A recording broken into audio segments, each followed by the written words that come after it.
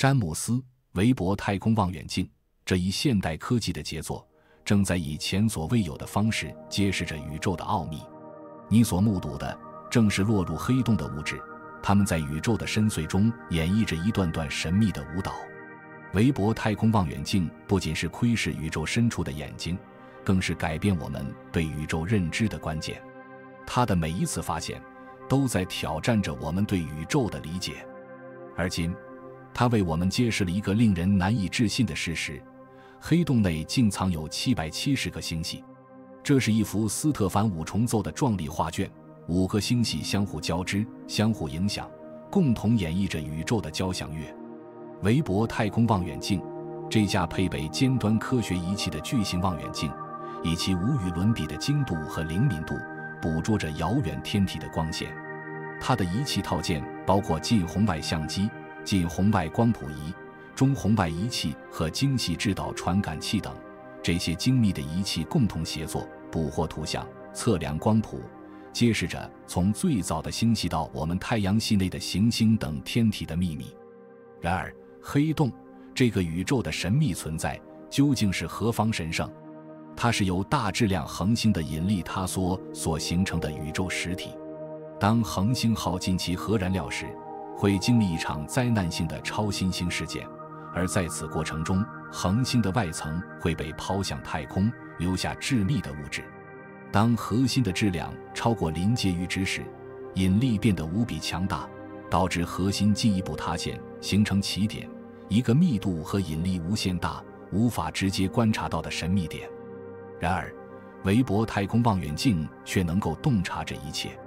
它检测到的最疯狂的事情之一，便是黑洞内存在七百七十个星系。这简直是对黑洞定义的挑战。黑洞的事件世界是一个看不见的边界，一旦越过这个边界，即使是光也无法逃脱。这是一个标志着黑洞引力变得无比强大的点，任何试图穿越它的物体或辐射都将被无情地吸引到黑洞中心的起点。而更加神奇的是，当物体接近事件世界时，时间似乎会变慢，这是一种被称为时间膨胀的现象。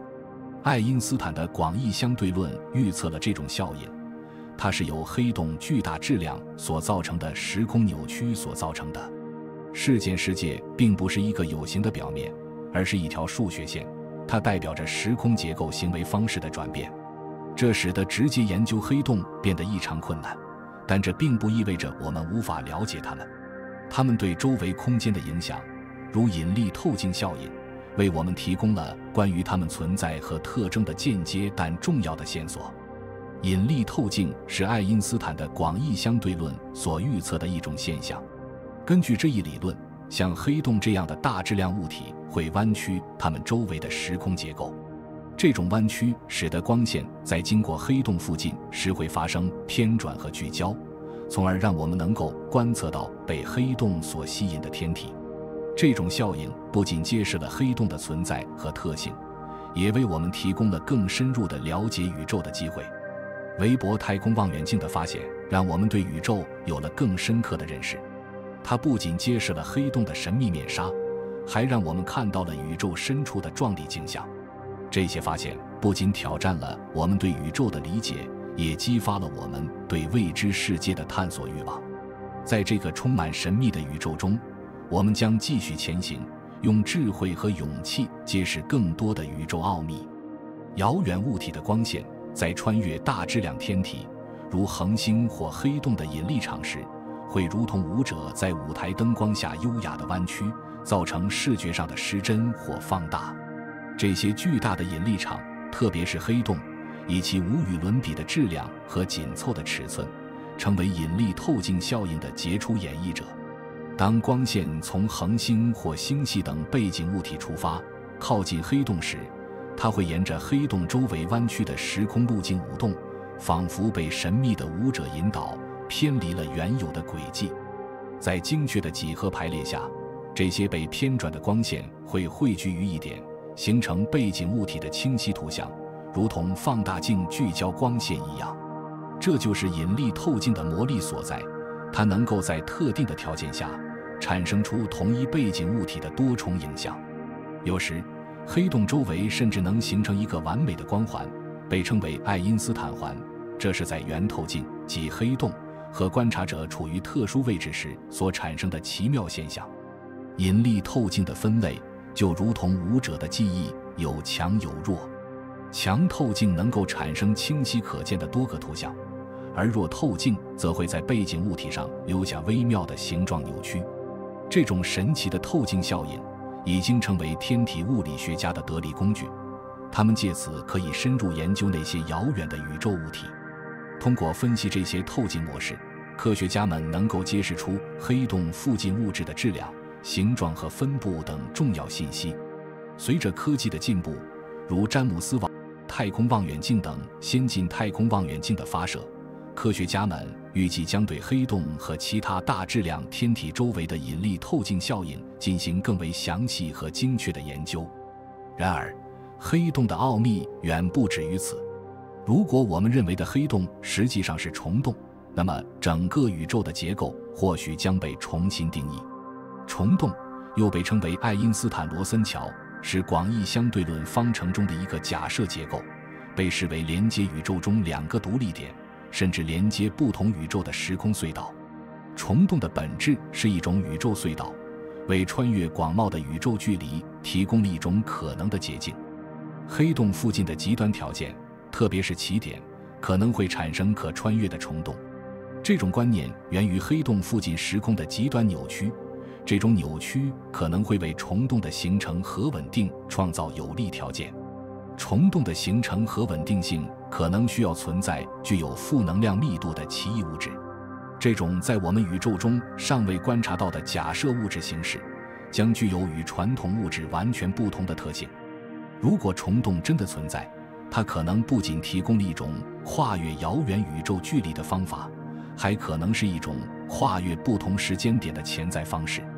尽管这听起来像是科幻小说的情节，但科学家们一直在探索这种可能性。同时，奇异物质的存在也为我们打开了一扇探索未知世界的大门。它具有负能量密度的特性，这一概念挑战了我们对能量的日常直觉。然而，正是这种挑战和未知，激发了科学家们无尽的探索欲望和勇气。奇异物质以其独特的性质，成为了稳定与维持虫洞的关键。虫洞这一充满神秘色彩的时空隧道，常常因其不稳定而崩溃，或因时空奇异物质的极端曲率变得不可通行。然而，当奇异物质被巧妙地分布在虫洞周围时，其负能量密度便能与试图使其塌陷的引力相抗衡，从而在时空中构筑起一条稳定且可穿越的通道。奇异物质的独特之处在于其由那些与粒子物理标准模型中常见粒子迥异的奇异粒子或常组成。这些粒子拥有诸如负能量密度等非凡属性，使它们与普通物质大相径庭。能够与已知粒子合力以非常规方式互动，它们所展现的排斥引力相互作用，与普通物质的引力形成鲜明对比。这些相互作用或许是由那些尚未发现或理解的假设粒子或场所接导。然而，如果将视角转向另一种理论物体——白洞，我们或许会发现一个全新的宇宙奥秘。白洞作为黑洞的对立面。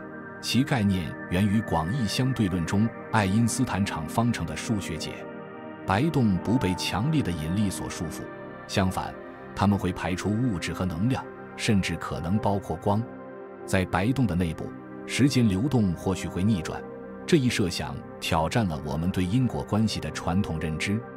更为引人入胜的是，一些科学家提出了黑洞与白洞之间可能存在潜在联系的观点。他们设想了一种连接黑洞和白洞的虫洞桥，暗示着这两个极端现象可能是同一宇宙现象的不同面相。